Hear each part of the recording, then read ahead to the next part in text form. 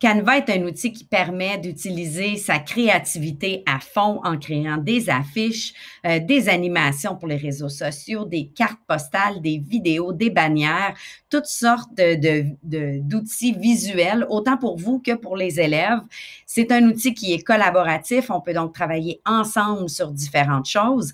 Ils ont même une version éducation il faut par contre en faire la demande pour avoir un compte éducation. C'est d'ailleurs celle que j'utilise ici, qui vous donne accès à une panoplie d'outils supplémentaires que la version classique. Il existe aussi une version pro qui vous ouvre la porte à encore plus de possibilités. Par contre, il y a tellement de choix avec les versions éducation ou la version de base euh, qu'il n'est pas obligatoire de se payer la version gratuite. À vous de voir si vous en faites une super utilisation. On peut avec Canva faire des présentations comme on le ferait avec, par exemple, Microsoft PowerPoint ou Google Présentation. Des modèles sont disponibles, une tonne de modèles variés qui vous permettent de faire des présentations visuellement très intéressantes. Et il y a des façons de présenter vos présentations qui sont différentes aussi. Donc, ça peut des fois venir juste nous apporter euh, des idées supplémentaires. Dès que j'entre dans Diaporama, ben, j'ai plusieurs options ici divisées par catégorie. Si je clique sur Voir tout, je vais voir tous les diaporamas simples, par exemple, ou tous ceux en lien avec l'enseignement. Lorsque j'amène ma souris sur l'image, ben, je vois défiler les différentes options du diaporama en tout petit et on me dit par exemple en bas ici qu'il y a neuf différents types de diapositives pour ce modèle. C'est la même chose selon euh, les différents diaporamas. Il y en a qui vont avoir par exemple une vingtaine.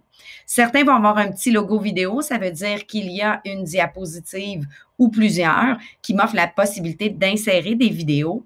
Et quand je suis prête, eh bien, je clique sur la diapositive de mon choix et je vois apparaître tous les 18 pages du modèle à ma gauche ici. Je peux choisir en un coup d'appliquer les 18 pages. Je vais donc avoir une présentation de 18 pages que je vais pouvoir modifier ou venir sélectionner une à une les diapos qui répondent à mon besoin.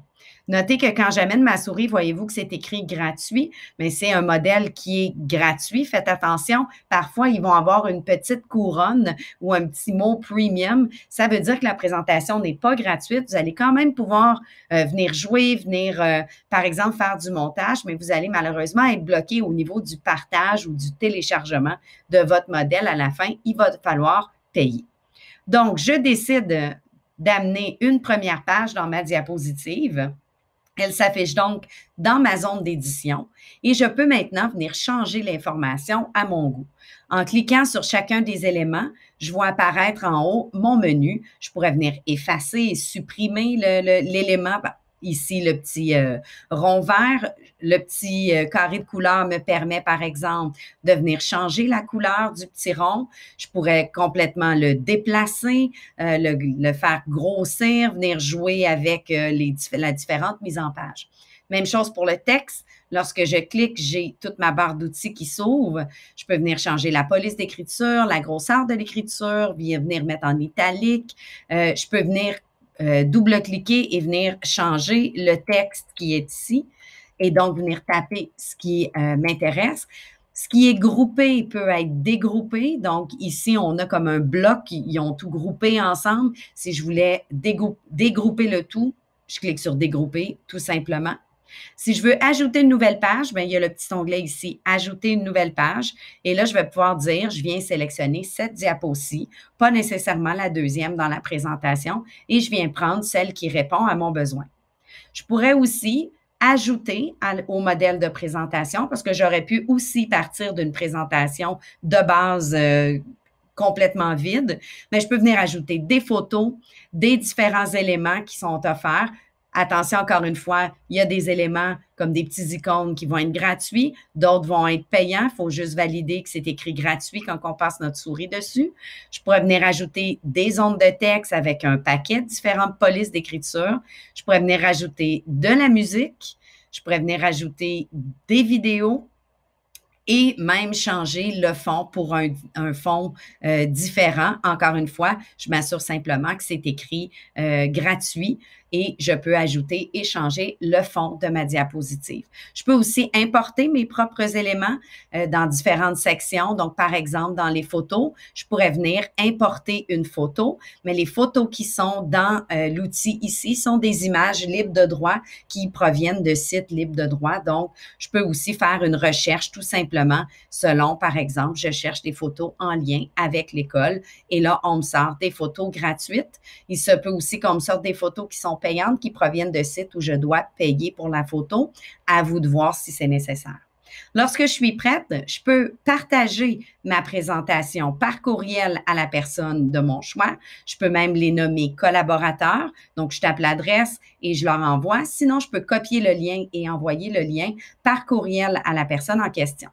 J'ai plusieurs options pour présenter. Je pourrais cliquer Présenter tout simplement et présenter à même Canva. Donc, je vais venir choisir le style de transition. Est-ce que je veux un fondu, un glissé? Ça, c'est mes diapos qui vont changer, par exemple, d'une à l'autre. Donc, je peux regarder un petit peu l'aperçu. Et quand je suis prête, je clique sur Présenter et ça va présenter en plein écran.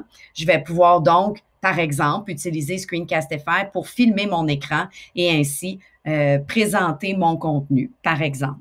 Je pourrais par contre aussi euh, donner euh, mes informations différemment. J'ai d'autres options ici. Je pourrais le partager directement dans Google Classroom et envoyer ma présentation aux élèves directement d'ici. Je pourrais la télécharger, par exemple, en format PDF pour avoir une copie de ma présentation. Je pourrais partager simplement le lien et les élèves iraient visiter le lien. Je peux le partager en forme site web, ce qui rendrait disponible sans compte Canva euh, ma, présentation avec une adresse web.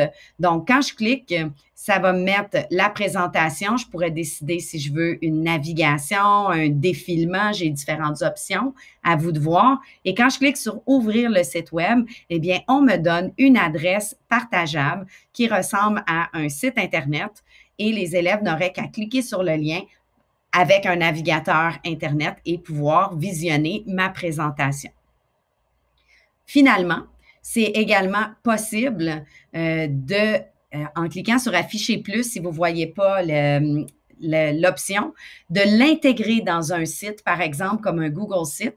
En cliquant sur Intégrer, on va m'offrir un lien HTML que je vais pouvoir copier-coller sur euh, mon site Internet et donc intégrer la présentation directement sur mon site classe. Donc, si j'ai par exemple un Google Site, je vais cliquer Intégrer du code, je vais venir copier le code qu'il y a ici et l'image de ma présentation va être intégrée au site. Euh, les élèves n'auront pas à naviguer en dehors de ma présentation, pourront la visionner directement dans mon site. Donc, plusieurs options, des modèles intéressants, des mises en page pour faire des présentations différentes.